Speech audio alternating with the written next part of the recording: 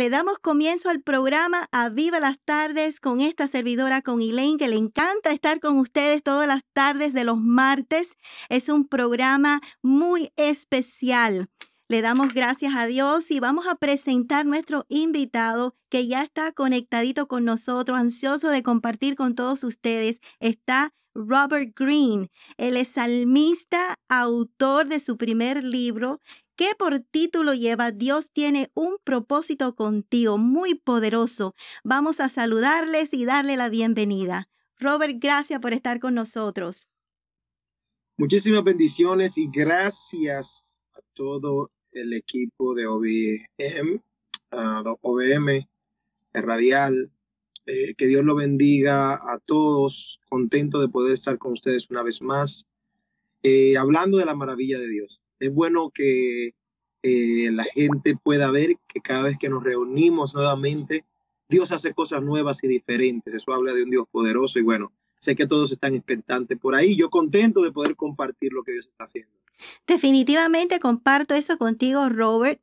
Y hablando del título del libro, algo que estábamos conversando detrás de cámara, hay un mensaje importante del cual este título ha sido plasmado sobre la carátula de este bello libro.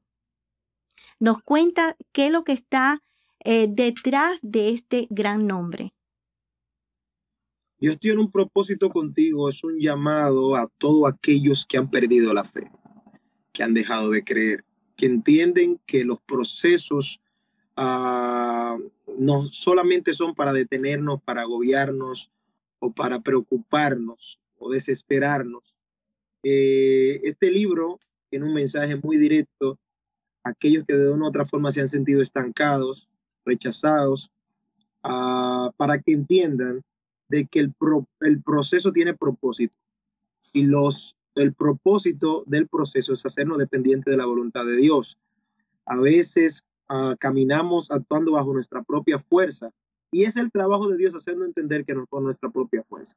Y por eso es que a veces eh, nos sentimos desahuciados de Dios, a veces nos sentimos como que Dios no nos escucha, nos sentimos invisibles para el hombre y sentimos que Dios no está con nosotros. Pero a veces que Dios espera el momento el cual nosotros clamemos a Él a través del ser procesados. No hay nadie que verdaderamente se encuentre muy, muy, muy desesperado que no clame a Dios.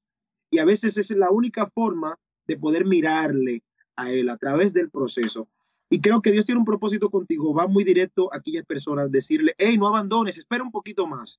Sé que está muy fuerte el proceso, sé que eh, lo que está pasando es muy desesperante, pero espera un poquito más porque Dios llegará, tarde que temprano llegará y te ayudará, te va a ayudar a levantar. Y lo, eh, hemos visto esto en todas las historias, en todos los personajes de la Biblia.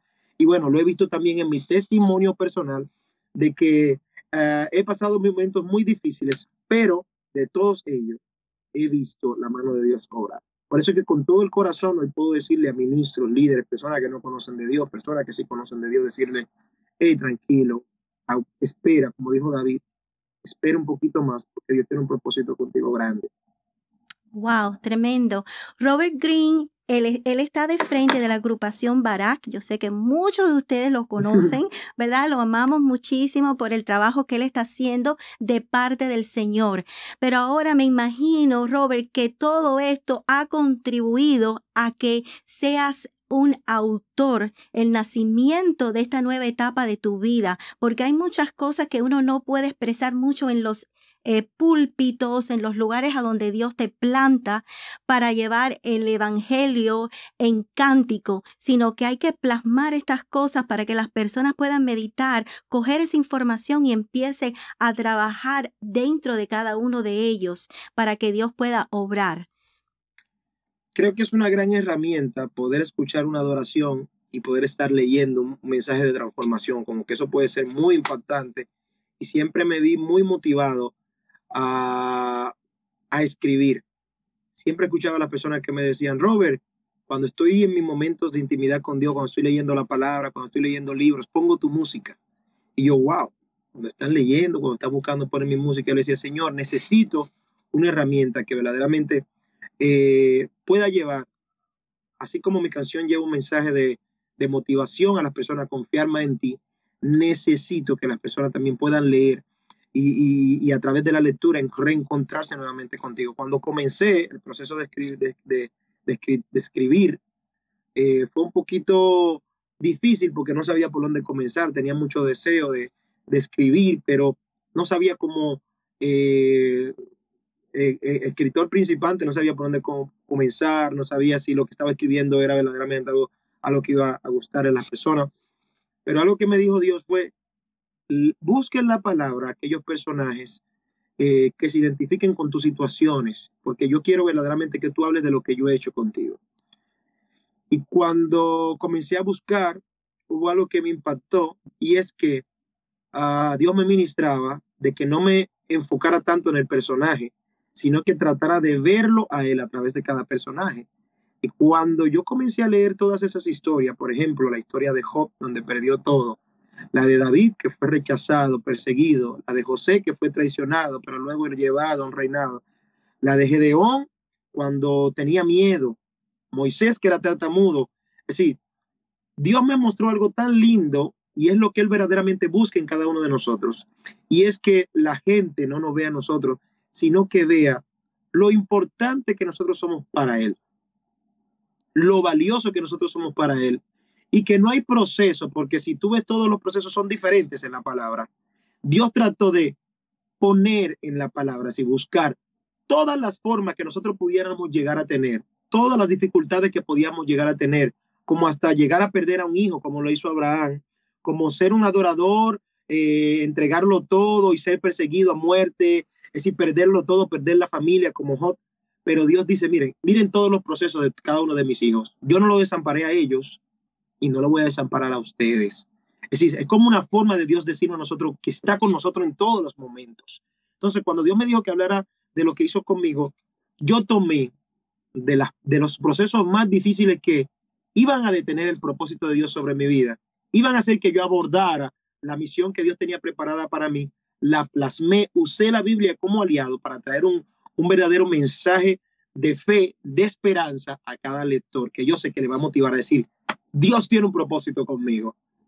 Amén, gloria a Dios. Y este libro presenta para el autor lo que es los sueños, la esperanza, eh, los momentos difíciles. Y hablando de todo eso, ¿hay alguno que puedas compartir con nosotros y interactuar con la audiencia de que tanto tú, Robert, como toda persona que pasa por procesos, tenemos que mirar a Dios, tenemos que mirar arriba y esperanzarnos en Él, de que Él va a ayudarnos y vamos a poder transitar y lograr ese sueño, ese anhelo que está en el corazón. Mira, fueron muchos, fueron muchas las eh, los, momentos de mi vida que coloqué, dependiendo, dependiendo el tema que iba a tratar de hablar. Creo que hay varios pasos que hay que dar para encontrar el propósito de Dios. Yo um, me, dejé dirigir por Dios de acuerdo al proceso que pasé en mi vida. Muy joven, tengo 34 años y bueno, voy caminando ahí en el propósito de Dios, pero había algo que por muchos años me, me estancó para que pudiera encontrar el propósito de Dios sobre mi vida y era que tenía muchas heridas del pasado. Mi familia, por ejemplo, una familia pastoral, la cual ah, los recuerdos que tengo de ella son recuerdos muy lindos, pero el enemigo busca, busca formas de cómo tronchar el propósito de Dios en nuestras vidas. A él no le importa que tú seas entregado al servicio, es decir, él siempre va a buscar la forma de cómo entrar. Muchos lo esperan por la droga, por el alcohol, por la, eh, el fallo, eh, muchísimas formas. Uno espera que el enemigo ataque, pero el enemigo siempre ataca nuestras debilidades. Y en este, en este caso, mi papá era muy, muy, muy enfocado a que su familia sea la familia pastoral, la familia perfecta. Es decir, y, ese, y esa presión sacerdotal hizo que él fuera muy radical con nosotros como hijo y con mi mamá también. Mi mamá, mi mamá veía a Dios de una forma diferente de como mi papá la veía. Mi papá era más conservador, cero printalabios, cero villalabios, cero arreglarse el cabello. En un tiempo que había de el legalismo muy fuerte en las iglesias. Y bueno, mi mamá veía a Dios de otra forma. Ella decía que ella, ella debía cuidarse porque era el templo de Dios, debía verse bonita porque en realidad era un ejemplo de que verdaderamente era cristiano y etc. yo estaba entre esas dos opiniones de qué verdaderamente era un cristiano, si más conservador o si era más liberal, pero en, realidad estaba muy confundido acerca de lo que verdaderamente Dios quería hacer en mi vida.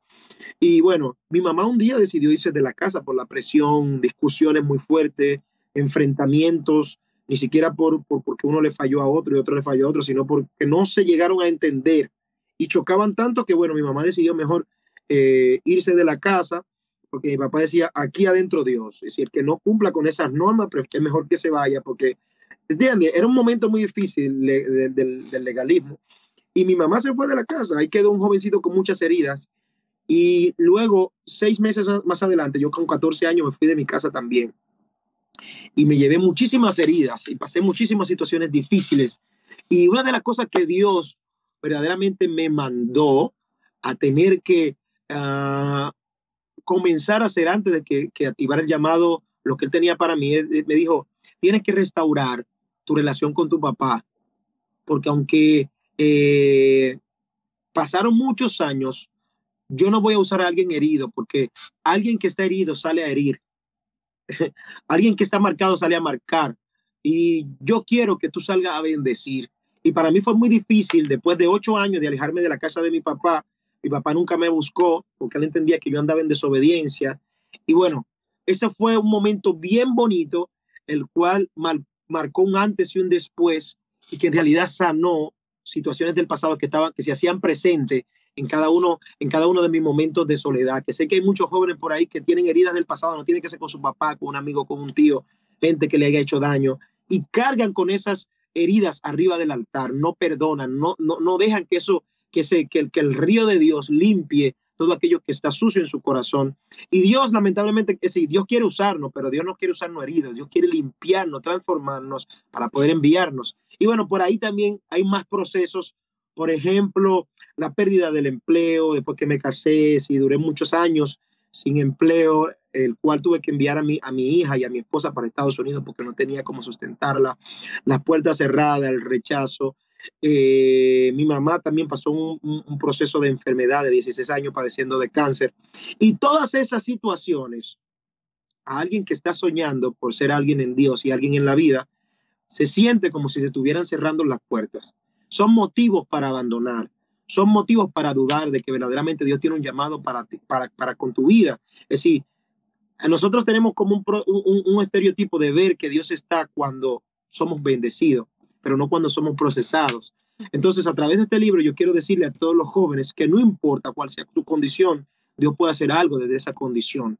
Y, y, y lo que busco con ese libro es presentarles no su problema, aumentarle su problema, sino presentarle la solución a través de la palabra, de lo que Dios manda a que nosotros hagamos en cada uno de nuestros, procesos, porque los procesos solo buscan hacernos dependientes de Dios. Y yo sé que cuando el lector se enfrente a ese libro va a descubrir que no es el único que está pasando dificultades, que no son los únicos que están pasando momentos difíciles, sino que todos pasamos momentos difíciles, porque del mismo tamaño que nuestra oración de bendición, así vamos a hacer nuestro, nuestro, nuestro proceso. Así que eh, este libro es muy lindo.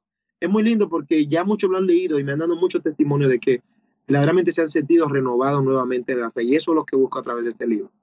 La verdad que este libro tiene un gran propósito, ya lo estamos escuchando, ya estamos en sí eh, viendo el contenido del libro, la importancia que tiene este libro para estos tiempos también, para aquellos jóvenes y personas que todavía tienen mm. conocimiento, pero que necesitan definitivamente entrar en los propósitos de Dios. Y Robert, abriendo el libro nuevamente, cuáles de los diferentes eh, capítulos fue uno de los más difíciles para plasmar?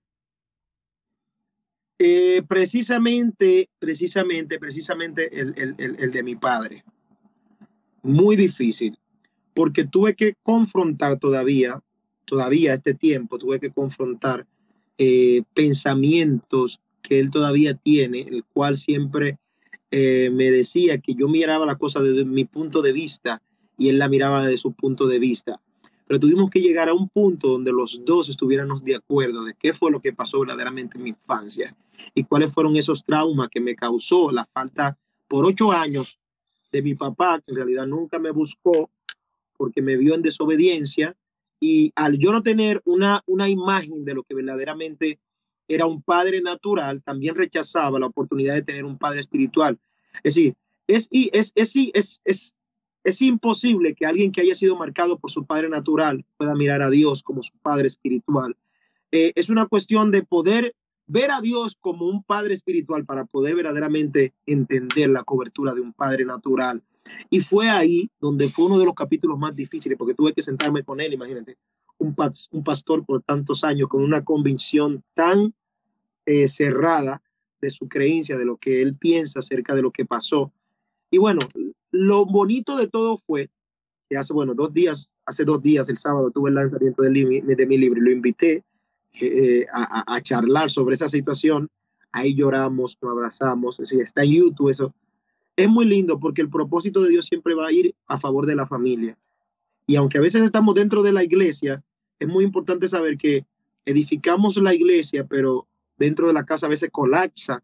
Y es muy importante para los líderes, ministros y nueva generación entender de que uh, sabemos que no podemos ser permisivos con las corrientes modernas dentro de nuestra casa, pero también tenemos que ser sabios en guiar con amor a, a nuestros seres queridos. Y creo que es un capítulo muy lindo, el cual me costó mucho, aunque no es mi favorito, porque hay muchas cosas del pasado que tuve que traer a la luz sí. para poder sanar esa, esa etapa y que muchos también puedan sanar esa etapa.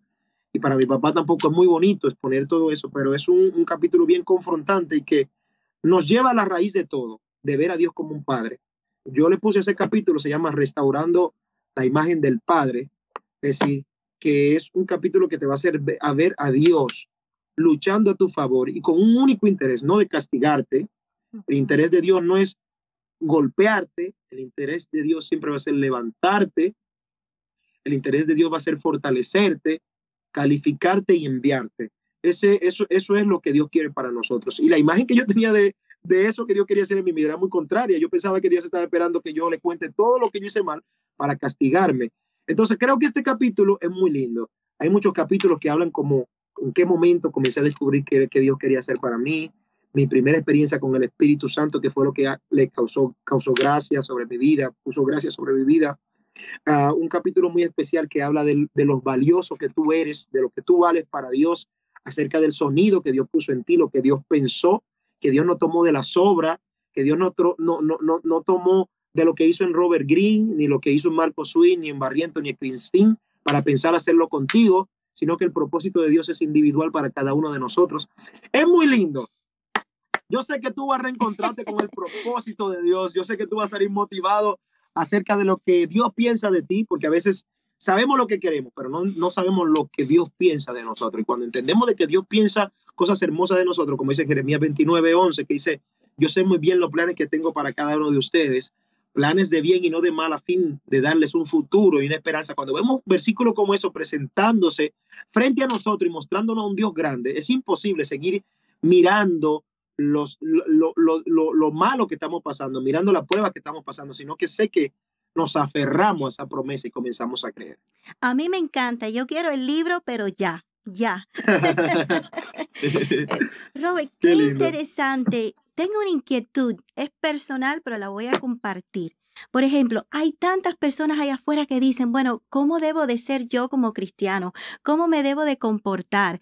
Eh, ya que tú vienes de ese eh, upbringing, lo, eh, en, en, el lugar a donde creciste, en el hogar, a donde pudiste ver las dos vías, las dos formas, y tú buscando ese medio ¿Qué le puedes decir a una persona que a lo mejor está en esa situación o realmente trata de ser obediente a Dios, trata de buscar el agrado de Dios, que se siente en ese punto donde no sabe cómo comportarse, qué es lo que debe de hacer? ¿Qué se les puede decir? Mira, hay algo, hay algo que es muy importante que todos entendamos. Nosotros tenemos un amigo, un amigo muy especial. Tenemos un amigo que hay, hay un capítulo que habla acerca de eso mismo que me preguntaste, porque hubo un momento que yo también me pregunté eso, ahora qué hago, ok, sané la herida, ahora qué hago, Señor, ¿qué tú quieres hacer conmigo? ¿Cómo yo puedo ser mejor para ti? ¿Cómo yo puedo no volver atrás y no seguir hacia adelante? Y conocí a un amigo, él es el encargado de guiarnos a toda, la, a toda verdad, que él es quien nos revela el corazón del Padre. Él es quien intercede delante de Dios por cada uno de nosotros. Y desde ese momento en el cual Dios comenzó a sanar mi corazón, uh, comencé a conocerlo muy bien. Tuve una relación muy cercana a Él y todavía he aprendido a cultivar mi relación con Él y es el Espíritu Santo. Creo que el Espíritu Santo es el único que nos guía a nosotros a toda verdad. Sí, porque hay muchas corrientes que son humanas. Hay muchas eh, diferentes eh, formas de cómo presentar a Dios humanamente. Eh, y a veces creemos que estamos haciendo la voluntad de Dios y estamos haciendo la voluntad del hombre. Entonces es una cuestión de sumergirse en la presencia de Dios, tratar de escuchar la voz de Dios. Él habla, Él todavía habla, Él todavía guía, Él todavía revela, Él todavía se muestra aún en nuestras dificultades y nuestras debilidades, porque ese es su llamado. Es decir, a eso Él vino, a cuidarnos, a ser nuestro consolador. ¿Qué hace el consolador? Consolar. Es decir, nosotros podemos estar turbados acerca de qué y cómo eh, pasará lo de Dios en nuestra vida. ¿Qué, cuándo y cómo? Eh, ¿En qué tiempo? ¿Cómo sucederá? Eh, es aquel que verdaderamente nos ayuda a tener, a, tener paciencia, porque una de las cosas que verdaderamente nos hace abordar el plan de Dios es no tener paciencia. Y yo le aconsejo a todos ustedes, ¿ustedes quieren verdaderamente ver lo que Dios quiere hacer con todos ustedes? Primero, fíjate de que tus sueños no sean egoístas. ¿Cuál, cuál, es, ¿Cuál es el fin de lo que tú quieres lograr hacer en Dios? ¿Cuál es el fin? Porque siempre que el fin sea mostrarlo a Él, siempre que el fin sea hacer su voluntad, siempre que el fin sea eh, mostrarlo a Él donde quiera que tú vayas, si siempre tú vas a estar dirigido por Él y vas a verlo, vas a verlo a Él actuar aún en tus insignificantes situaciones. Entonces yo siempre le, le, recomiendo a todos los jóvenes, si usted quiere verdaderamente descubrir cuál es su llamado, si usted quiere verdaderamente descubrir qué usted puede hacer en Dios, entre a la intimidad, entre a la intimidad, abra sus, oídos, muera sus sueños personales. Yo tuve que morir a mis sueños personales. Lo que la gente no sabe es que antes de yo formar parte del grupo Barak, yo tenía un proyecto que se llamaba Robert Green, por ejemplo, y yo invertí dinero por ese proyecto, puse todo mi esfuerzo por ese proyecto, fui a todas las emisoras con ese proyecto, fui a muchísimos medios con ese proyecto, pero ese sueño era un sueño muy personal y a Dios verdaderamente no le gusta que le, hagamos socio de nuestros proyectos. Y yo ponía a Dios como socio. Por ejemplo, ¿cómo nosotros ponemos a Dios como socio? Cuando nosotros tenemos un sueño y oramos para que Dios entre a nuestro sueño. Dios sea parte de nuestro sueño. Yo he visto gente, Señor, yo quiero que tú seas parte de nuestro sueño. Y Dios no quiere ser parte de nuestro sueño. Dios quiere que nosotros hagamos su sueño, no que nosotros hagamos parte de nuestro sueño. Y mi oración por mucho tiempo fue ese. Voy a comenzar esto, Señor, yo quiero que tú seas parte. Y, y cuando yo le decía al Señor que quería que fuera parte, era como que yo le decía, Señor, yo quiero que tú seas socio de mi proyecto. Y Dios, la intención de Dios no es ser socio. A Dios le gusta que nuestros sueños personales se vean arruinados, se vean, porque el interés de Dios no es que nos veamos arruinados. El interés de Dios no es que nuestros sueños sean golpeados, pisoteados, no. Lo que pasa es que Dios verdaderamente quiere que nosotros moramos a nuestra voluntad, nuestro deseo personal de nosotros ver hecho realidad lo que nosotros podemos hacer con nuestra propia fuerza. ¿Para qué? Para sentirse autor absoluto de todo lo que pueda pasar en nuestras vidas. Y fue allí donde Dios estropeó todos mis proyectos. No porque él quería pisotear mis proyectos, sino porque tenía sueños más grandes que los míos. Entonces, cuando él se sintió el, el, el, el autor absoluto de esa obra, cuando yo me vi frustrado, cuando yo me vi que no podía ni a la derecha ni a la izquierda, vi toda la puerta cerrada, hubo esa oportunidad de no presentar mi nombre, sino salir a la luz pública a través del nombre que Dios me puso, que fue Barak. Yo hubiera tenido la intención de venir, de venir aquí a hacer entrevista como Robert Green en un tiempo atrás. Pero miren, ustedes se me ven en los aeropuertos, me ven en las calles, me dicen Barak, Barak, Barak, Barak. ¿Por qué? Porque era el nombre de Dios para mi vida. Hay muchas personas que luchan forzosamente por sacar lo mejor de ellos mismos y es bueno, pero que es mejor dejar que sea Dios que saque lo mejor de nosotros mismos a la luz. Y yo le digo a todos esos jóvenes que están ahí que si verdaderamente ustedes quieren ver lo de Dios cumplirse en su vida, tienen que morir, morir a sus sueños. Porque cuando nosotros morimos en nuestros sueños, cuando nuestros sueños se ven frustrados, ahí hay un Dios que del polvo nos levanta, así como decía Job. Es decir, desde lo que parece totalmente devastado, de lo que parece totalmente deshecho, desde ahí a Dios le gusta construir una obra en el cual Él se sienta dueño absoluto de todo. Así que la única forma que nosotros podemos encontrar el propósito de Dios es haciéndonos amigos de Él, dejándonos guiar por Él. Y aunque no tenga sentido el camino que estemos caminando, ese sentido nos va a dirigir hacia el propósito que Dios tiene para nuestras vidas. Y Robert, qué importante es la oración. Queremos tener la comunión con Dios, pero la oración es una guía muy importante de la cual has hecho énfasis de diversas formas. una pregunta. ¿Usted no ha leído el libro, de verdad? Yo personalmente no he tenido la oportunidad de leer el libro, pero lo voy a leer. Pero usted está yendo punto por punto, usted está yendo punto por punto como si bueno, leyendo. Esa es la obra de Dios. Dios está en medio nuestro, con todas las personas que están sintonizando.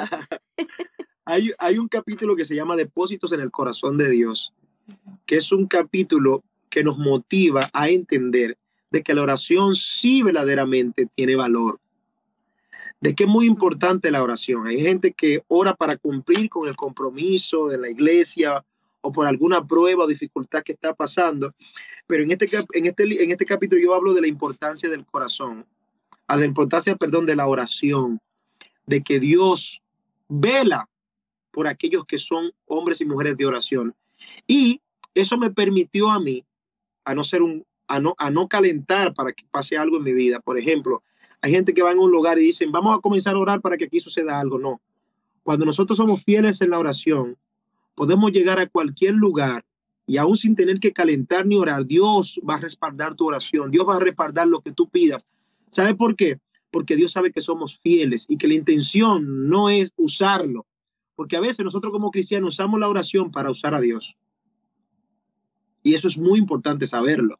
Si nosotros no podemos engañar a los bancos, si nosotros no podemos engañar a esos medios que estudian nuestro crédito, nuestro comportamiento financiero en la vida, ¿cómo podemos engañar a Dios? Orar para que, para, para, para, para, para, para que Él cumpla algo específico. No, a Dios le gusta que seamos hombres y mujeres de oraciones constantes. Y cuando Él ve que nosotros entramos a su lugar de oración constantemente, Él se siente comprometido en abrir su corazón a, a, a, a, todo, a cada uno de nosotros y bendecirnos. Es decir, la oración yo creo que es ese, eh, ese medio por el cual Dios califica nuestra relación espiritual con Él. Por eso que dice que es nuestro medio de comunicación con Dios. Si usted no ora, es imposible que usted conozca a Dios, porque usted no, usted, usted no, usted no sabe con quién usted está hablando. Usted simplemente usa ese medio para pedir, usa ese medio para conveniencia, usa ese medio para auxiliarse en alguna dificultad.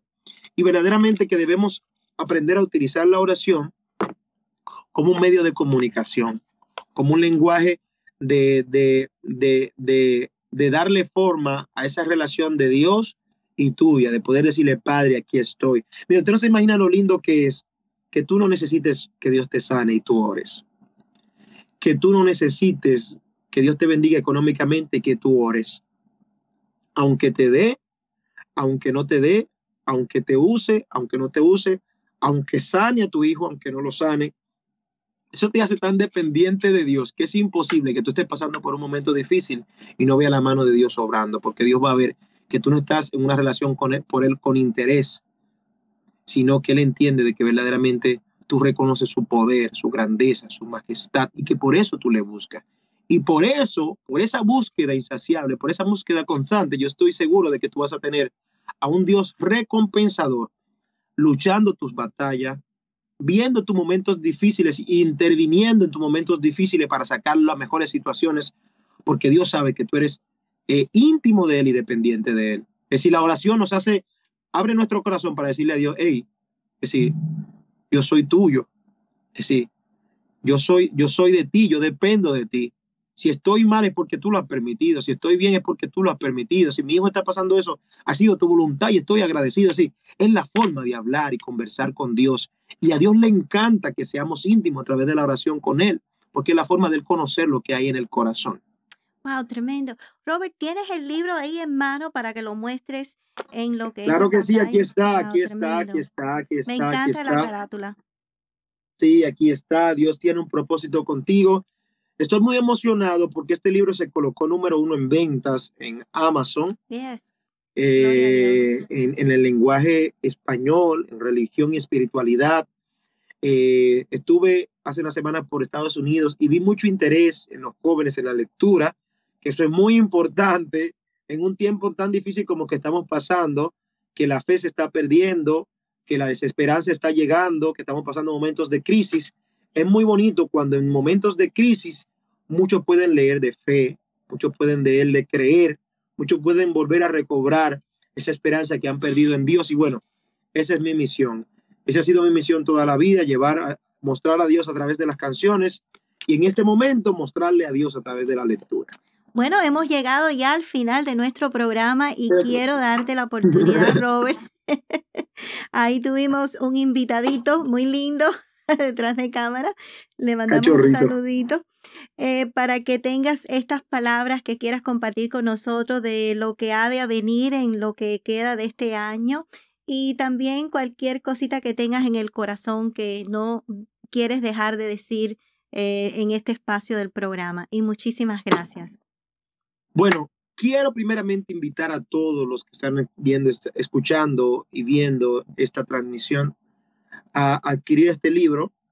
Es un libro que busca a, a ayudarte a que puedas ver a Dios obrar a tu favor en medio de los procesos más difíciles. Sé que cada página te ayudará a entender que el propósito de Dios es hacerte dependiente absoluto de su voluntad. Sé que este libro también va a ayudar a, orientar a hombres y mujeres de Dios que tengan llamado, pero que estén ahora mismo confundidos entre el cómo y cuándo Dios va a hacer algo en su vida.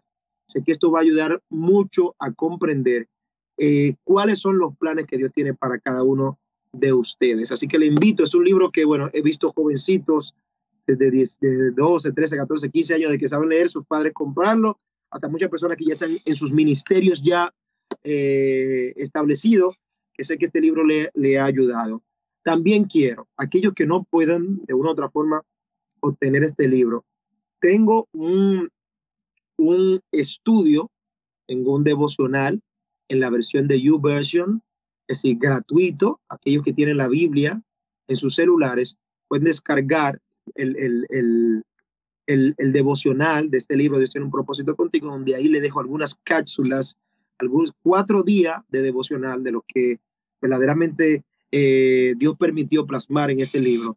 Así que bueno, no perder la fe, esperar en Dios, eh, seguir esperando lo que Dios va a hacer, eh, no mirar lo que el hombre dice de ti, sino esperar en lo que Dios verdaderamente ha dicho de ti, porque los planes de Dios son perfectos. No importa que ahora mismo no tengas trabajo, que tu hijo esté enfermo, que hayas perdido eh, la, fe, la desesperanza, aprende a esperar, porque dice en la palabra que aquel que, que siga confesando esa promesa, porque aquel que la prometió será fiel en cumplirlas. No soy yo que te lo digo, Dice la palabra que Él no tiene sombra de variedad y Él no va a cambiar contigo. Dios tiene planes contigo grandes, Dios tiene propósitos contigo grandes y yo sé que este es el año donde debes de empezar a descubrirlos. Amén, hecho está.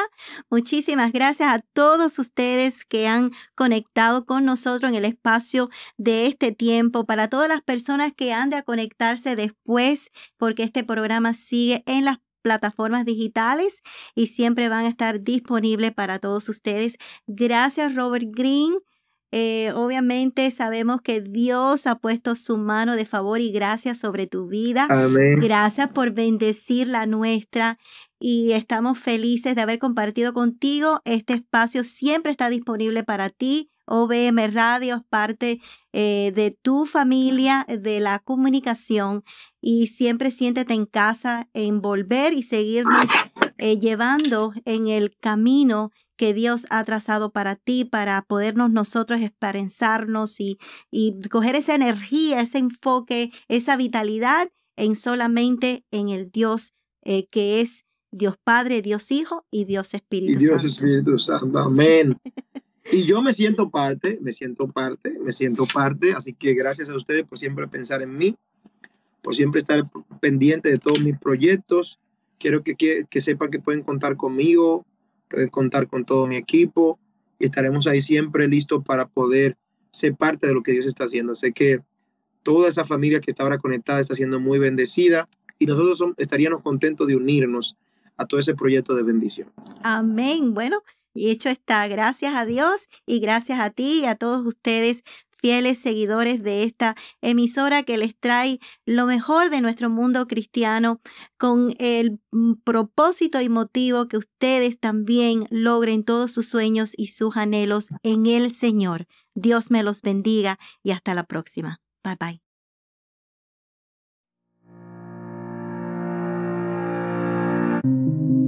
En mi vida he cruzado muchos altos y bajos que me dejaron muchas enseñanzas.